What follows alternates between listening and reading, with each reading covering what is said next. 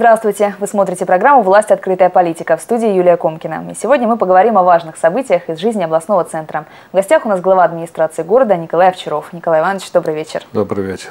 А вам я напоминаю, что мы работаем в прямом эфире, а значит вы можете звонить к нам в студию и задавать свои вопросы нашему гостю. Номер телефона на ваших экранах 70 35 15. Также свои вопросы вы можете оставлять на нашем сайте seminfo.ru в разделе онлайн. Мы постараемся их озвучить.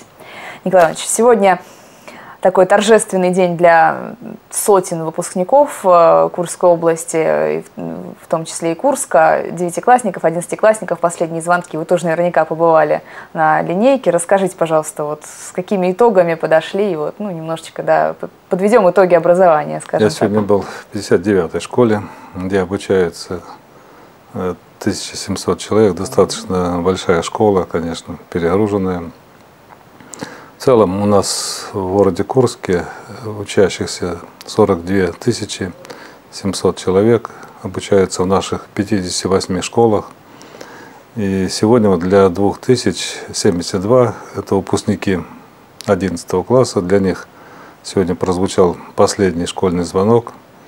И они действительно сегодня уже на пороге новой, э, самостоятельной, э, так сказать, взрослой жизни – Конечно, им еще много предстоит определиться э, по выбору профессии. Кто-то продолжит э, учебу в высших учебных заведениях, чтобы получить профессию.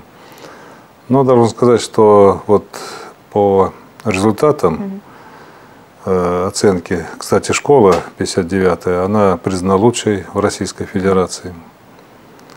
И по результатам э, вот, учебы надо отметить, что в этом году э, почти 500 человек, 458. Э, Это медалисты. Ничего золотая и серебряная, получат золотую и серебряную медаль. В прошлом году было 390.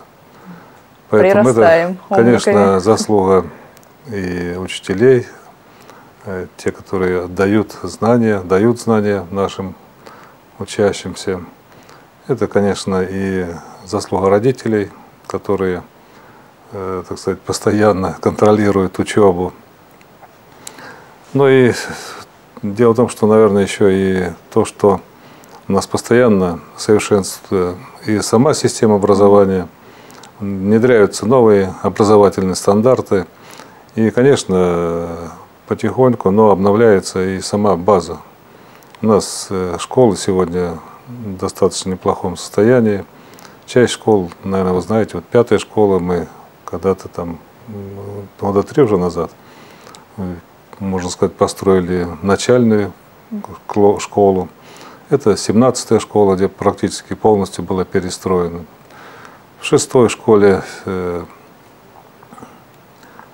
построен, введена в эксплуатацию пристройка, спортивный зал, актовый зал и дополнительные классы в 50-й школе спортивный комплекс, да и в целом вот э, где-то 13 школ имеют э, спортивные площадки, построенные по линии «Газпрома». Достаточно в неплохом состоянии наша база, школьная база. Ну и мы, э, вот очень острый стоит вопрос, конечно, по строительству школы по проспекту Победы.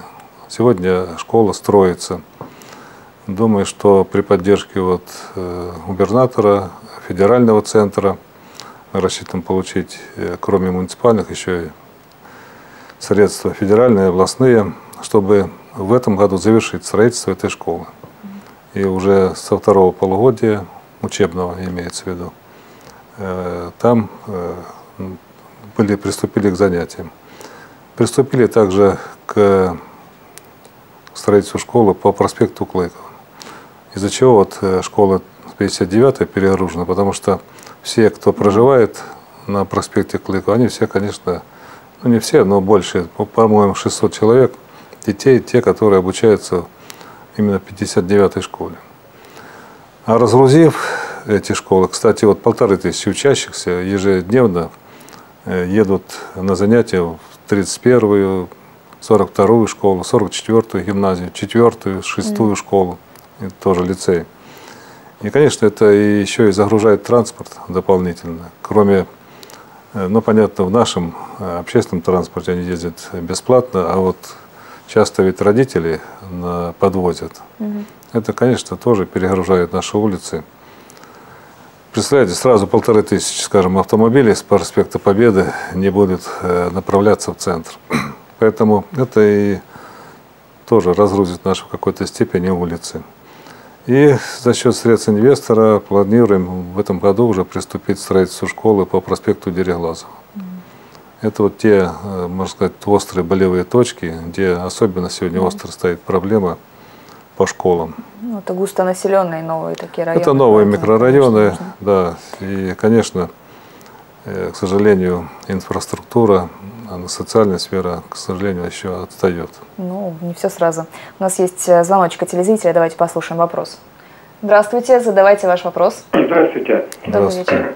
Я вопрос вот такого характера. Значит, вот э, когда у нас наведут порядок с парковками, с дикими парковками, незаконными, парковками личных автомобилей на тротуарах. Это страдают вот молодые мамы с колясками ходят. Мы... Пенсионеры пожилые руки, ноги ломают, обходя вот протискиваясь через эти машины. Когда этот порядок наведен будет?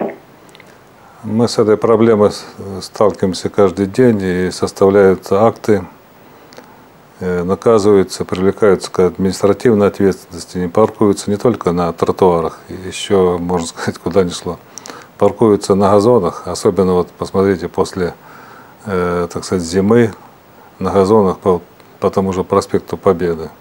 Да не только там, практически во многих местах, особенно в новых микрорайонах, поэтому эта работа ведется систематически. Сегодня взято под контроль действительно Э, достаточно много актов составляется практически ежедневно. Если вернуться к школьной теме, все-таки сейчас занятия заканчиваются. А, а что касается лагерей дневного пребывания, будут ли они работать в этом году? Да, ребят? во всех, не во всех, а в 53 школах, потому что 12 э, школ сегодня будут задействованы под сдачу единого государственного mm-hmm. экзамена. А в тех, где этого не будет, там будут э, лагеря дневного пребывания. И планируем где-то около 6 тысяч ребятишек, детей в возрасте там, от первого класса до десятого, что они будут в этих наших лагерях посещать. Ну, ребятам пожелаем приятного отдыха, успешной сдачи ЕГЭ. И... Это будут организованы различного рода мероприятия, и спортивные состязания, экскурсии и так далее. И родителям Раньше, спокойно. когда мы учились, мы занимались ремонтом стульев, парт. Сегодня Сейчас у ребят приятнее времяпрепровождение. Да. Кроме того, будут еще обеспечиваться горячим обедом.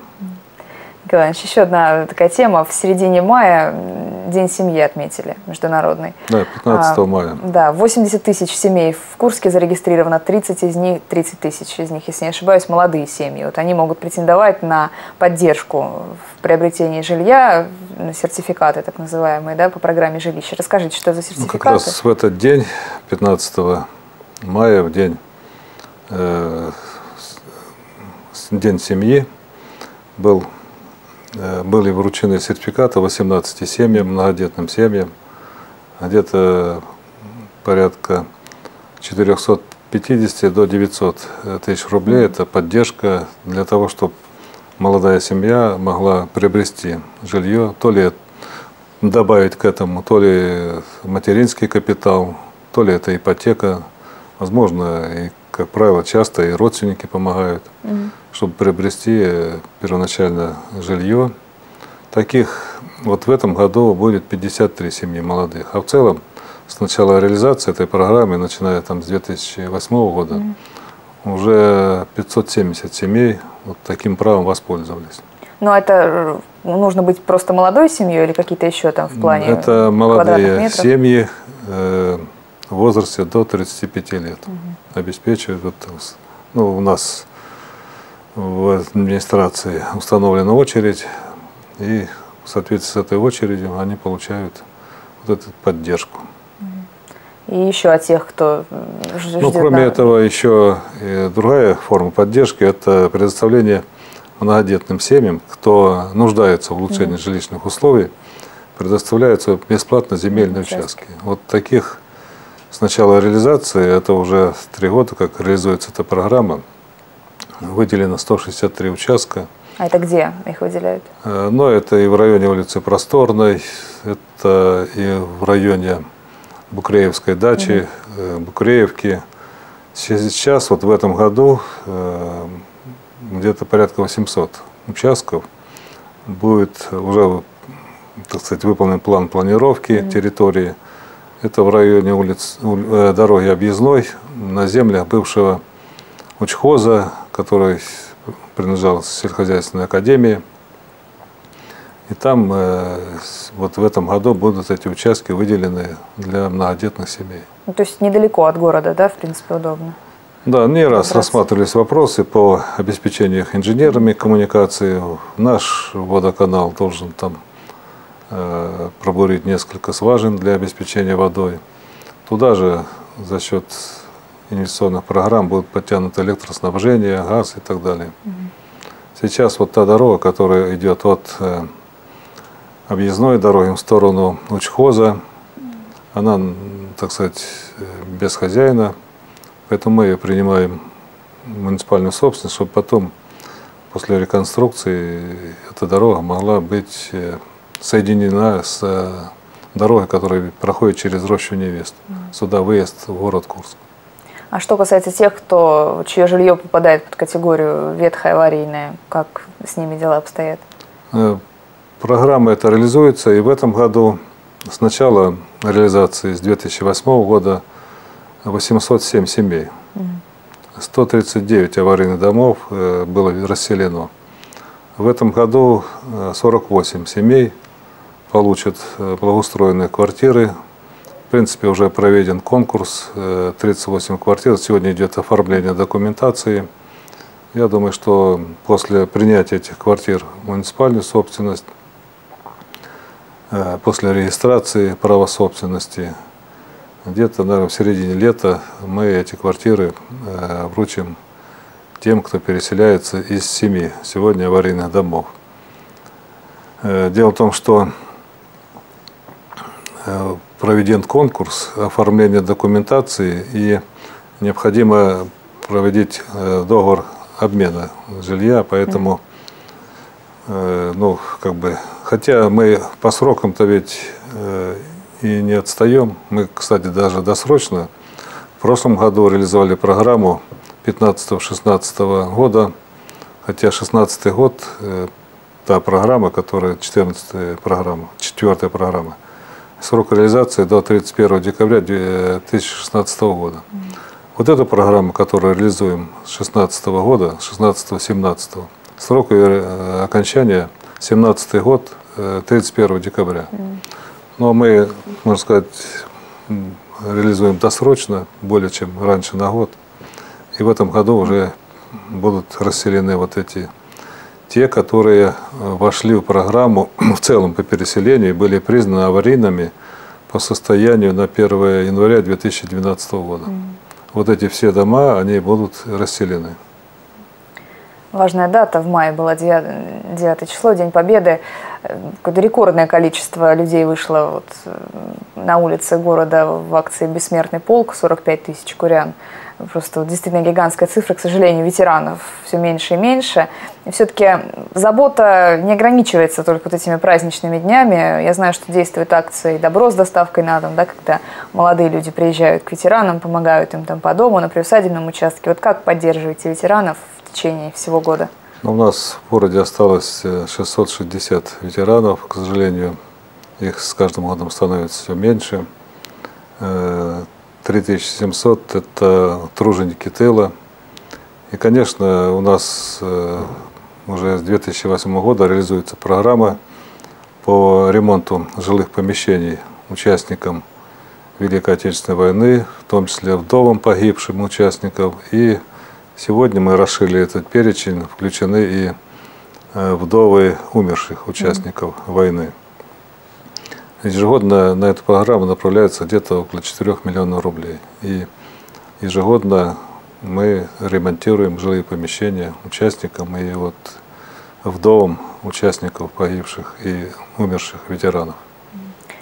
у нас есть еще вопрос на сайт от Коваленко Анны. А, Курск Ленина 108. А руководитель какой службы органа предприятия несет персональную ответственность за организацию работы по отлову безнадзорных животных, бездомных кошек и собак? 19 э, мая, то есть меньше чем неделю назад, был принят закон Курской области, где вот эти полномочия по отлову бродячих собак, он передан муниципальным образованием, в том числе и городу Курску.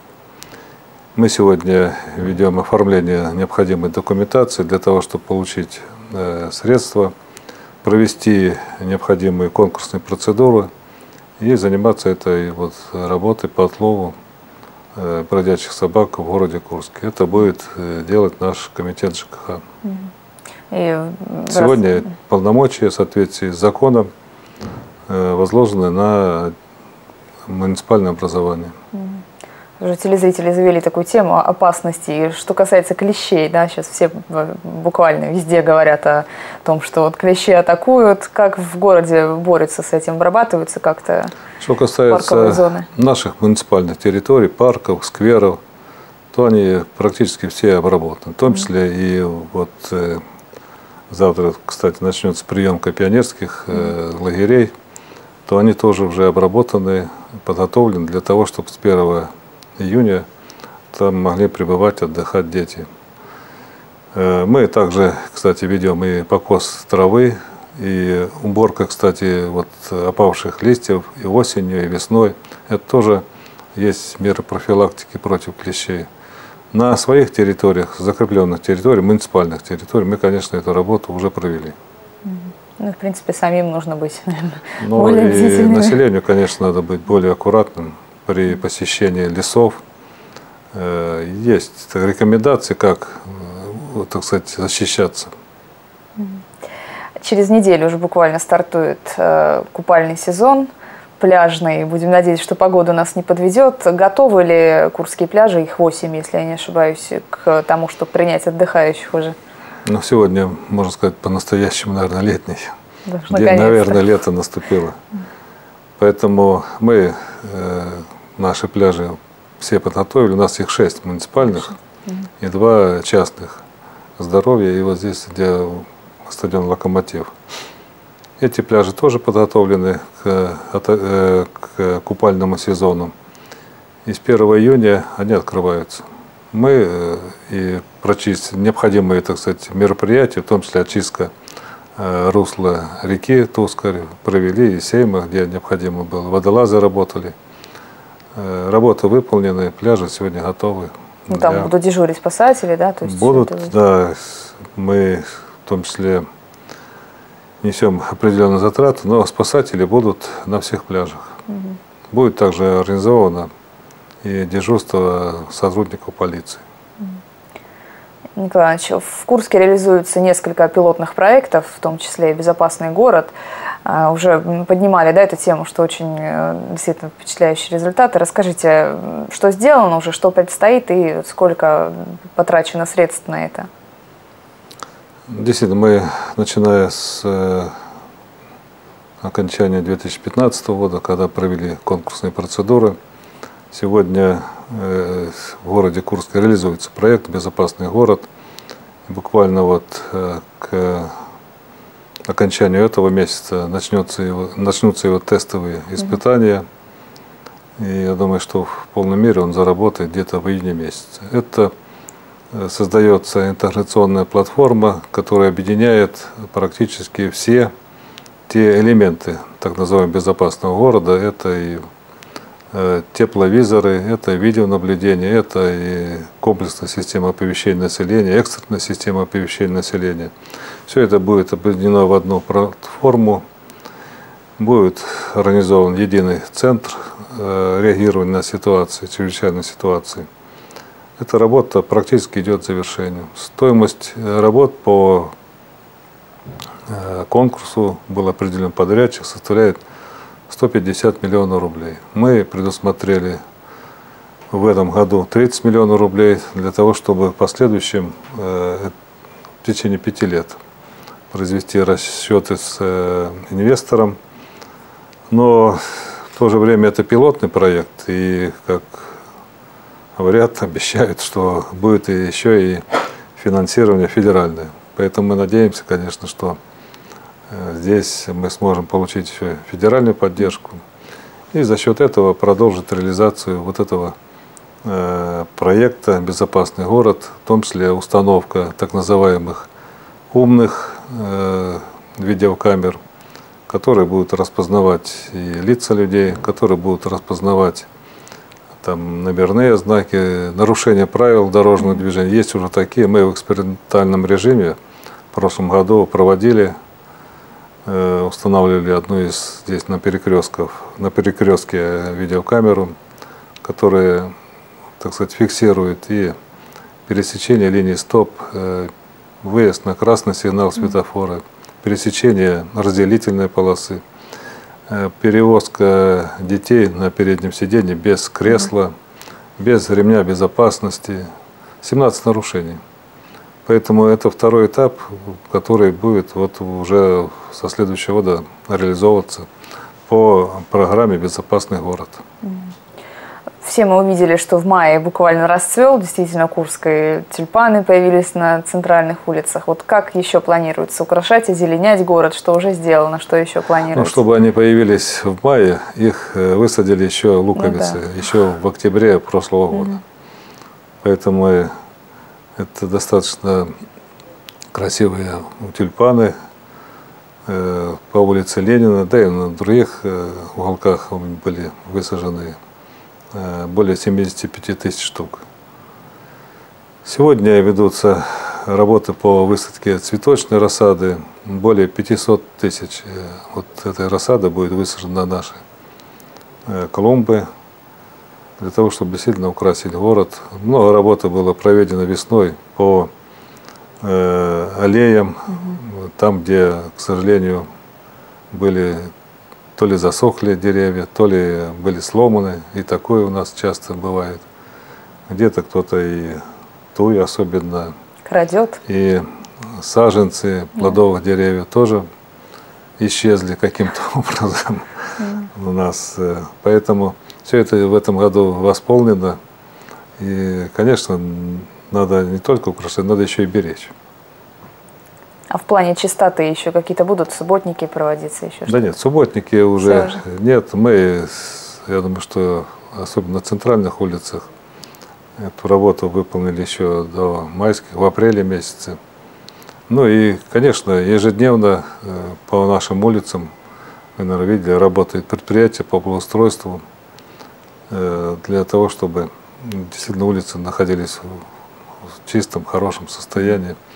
Э, работают поливомоечные машины, э, регулярно стрижется газоны, трава, поэтому работы эти ведутся, можно сказать, не покладая рук.